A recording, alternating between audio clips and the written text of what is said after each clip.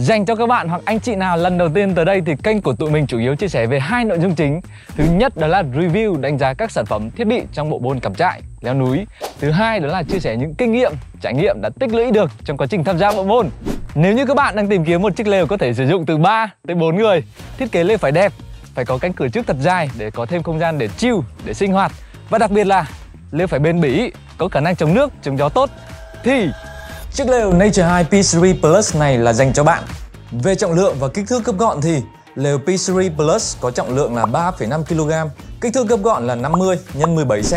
Về không gian khi bung lều, chiếc lều này có chiều cao lên đến 1m3, chiều dài là 2m1, chiều rộng cũng là 2m1. Bạn sẽ ngồi trong này thoải mái mà không lo bị đụng đầu. Ngoài ra, lều còn có không gian mở rộng ở phía trước dài lên đến 1 mét phía sau là 60 cm. Chứ bạn có thể thoải mái để ba lô hay các thiết bị khác ở không gian mở rộng này. Chiếc lều này mang đến không gian rộng rãi, có thể vừa đủ cho 4 người nằm trong này. Theo mình thấy thì sử dụng cho 4 người trưởng thành nằm trong này thì có vẻ là nằm hơi gần nhau quá. Sử dụng cho 3 người trưởng thành hoặc vợ chồng có hai con thì nó sẽ vui vẻ hơn rất nhiều. Ở trên này có một cái móc để khi mà trời tối thì chúng ta có thể móc đèn lên trên này. Chiếc lều được thiết kế hai cửa ra vào, cửa trước và cửa sau tạo ra không gian thoáng mát. Không khí sẽ được lưu thông thoáng mát hơn nữa khi lều được thiết kế hai cửa thông gió ở phía trên và cánh cửa thông gió phía trên này còn có tác dụng ngăn chặn hơi nước động lại khi trời mưa áo lều được kéo căng và cố định phía ngoài khi trời mưa nước mưa sẽ chảy xiên xuống phía dưới này và sẽ giúp lều không bị tạt nước khi trời mưa bên trong lều được thiết kế hai túi đựng ở hai bên bạn có thể để điện thoại và các vật dụng cá nhân của bạn một cách gọn gàng ở trong này. Cánh cửa phía trước là điểm khác biệt so với lều P3 thông thường khi nó được làm dài ra tới 1 mét. Ta có thể dựng lên để che nắng, ngồi chill hay để sinh hoạt ở ngoài này. Về chất liệu, lớp áo ngoài của lều được làm từ chất liệu polyester 200T cho khả năng chống nước lên đến 2000mm. Kết hợp với đáy lều được làm từ chất vải Oxford 150D cho khả năng chống nước lên đến 3000mm. Chiếc lều này có thể chịu được những trận mưa lớn trong nhiều giờ đồng hồ. Bạn có thể hoàn toàn yên tâm trú mưa trong chiếc lều này. Tụi mình đã làm nhiều video test khả năng chống nước của dòng lều Pisuri này mình sẽ để link ở dưới phần mô tả cho các bạn tham khảo nhé. Ngoài ra, chỉ số chống nắng của vải lều là UPF 50 cộng giúp ngăn chặn đến 98% tia cực tím từ ánh nắng mặt trời. Lớp áo trong được làm từ polyester 190T, không thấm nước, liên kết với lớp lưới B3 mang đến sự thông thoáng cho không gian bên trong, đồng thời ngăn chặn các loại bọ, côn trùng nhỏ xâm nhập. Vải lều được liên kết với nhau bằng mũi khâu kép, tăng sự chắc chắn và độ bền cho chiếc lều. Ngoài ra, các mũi khâu kép đều được ép nhiệt nhằm ngăn chặn nước thấm vào bên trong. Khung lều được làm từ hợp kim nhôm 7001, bền bỉ, chống rỉ sét, không bị biến dạng khi gặp gió lớn. Khóa kéo hai chiều mượt mà, chắc chắn giúp cho bạn có thể dễ dàng mở khóa kể cả khi bạn ở bên trong lều hoặc bên ngoài lều. Chiếc lều này có hai phiên bản màu sắc đó là màu xanh lá và màu xanh dương. Sau khi sử dụng thì mình đánh giá chiếc lều này như sau. Về ưu điểm, lều được thiết kế kiểu dáng đẹp, khả năng chống nước, chống gió tốt. Không gian bên trong lều rộng rãi, phù hợp sử dụng cho 3 tới 4 người có hai cửa nên rất thông thoáng. Đặc biệt, cửa trước dài lên tới 1 mét, ta có thể dựng lên để che nắng và cho chúng ta thêm không gian để sinh hoạt. Về nhược điểm, lều không đi kèm thảm lót đáy lều.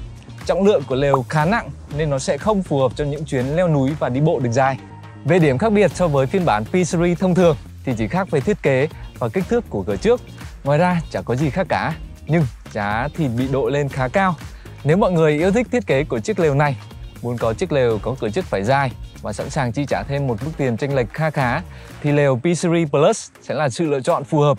Còn nếu mọi người đang tìm một sự lựa chọn kinh tế hơn, tiết kiệm hơn thì hãy chọn lều P Series thông thường. Và đó là những đánh giá của mình về chiếc lều P Series Plus này.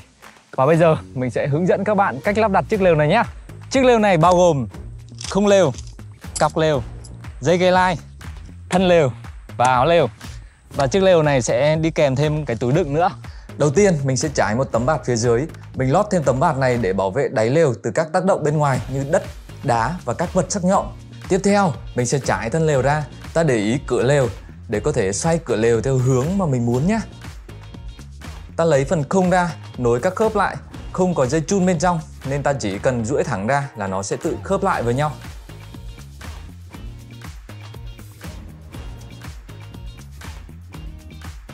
ta sẽ đặt hai cái khung nằm chéo như thế này. Ở bốn góc lều đều có lỗ sắt, ta lần lượt xỏ đầu khung vào lỗ sắt ở bốn góc lều.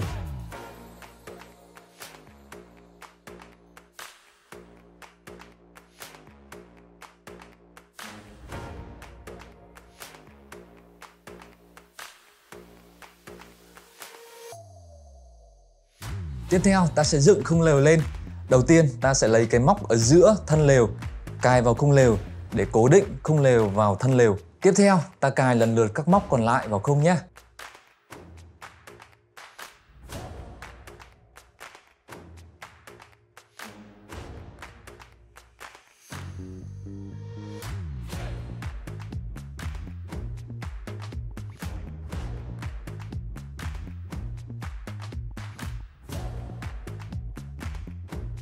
Tiếp theo, ta sẽ trùm cái áo lều này lên Mọi người nhớ là ta xoay cái cửa của áo lều sao cho trùng với cửa của thân lều này nhá.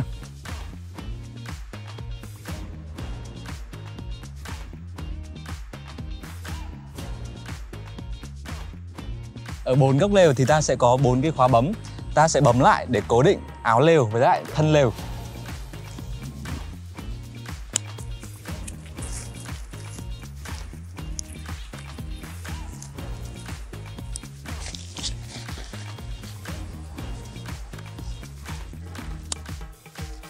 Ở đứng trước lều thì ta còn một cái mái vòm. Thì ta cần phải lấy cái khung nhét vào cái lỗ bên mái vòm này Để căng cái mái vòm ra nhá.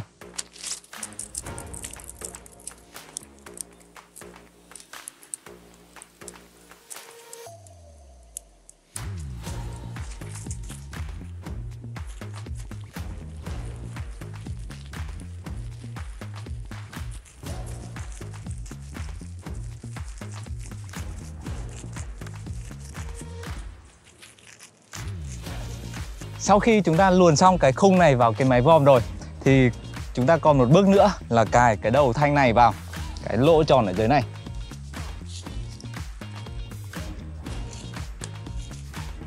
Sau khi cài xong đầu bên này rồi thì đầu bên kia thì ta cũng cài tương tự nhé.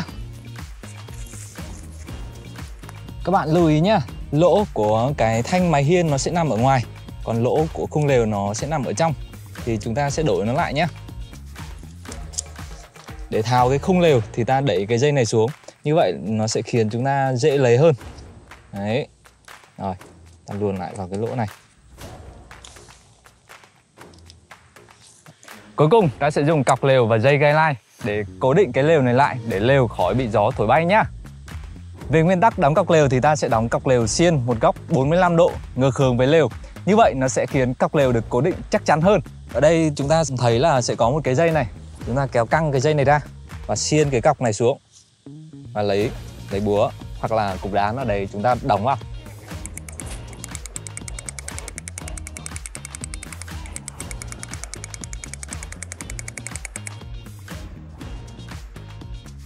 Khi mà bạn dựng lều ở những nơi có trời gió lớn, thì ở xung quanh lều chúng ta sẽ có những cái chỗ để chúng ta buộc dây gai lai.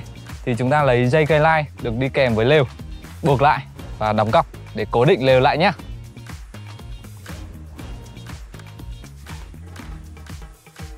Khi mà ta đóng cọc để cố định dây guideline thì chúng ta không cần đóng cọc quá xa đâu.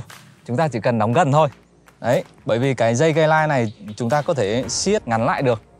Rồi, bây giờ chúng ta luồn cái dây guideline này vào cái cọc. Sau đó chúng ta siết nó lại bằng cách kéo nó lên. Đấy, như vậy là đã siết được lại rồi. Để muốn nới lỏng nó ra thì ta nhấc cái khóa này lên rồi thu lại. Rất đơn giản đúng không nào? Để cửa lều được mở ra gọn gàng thì chúng ta có thể cuộn nó lại như thế này và cài quy để cố định lại.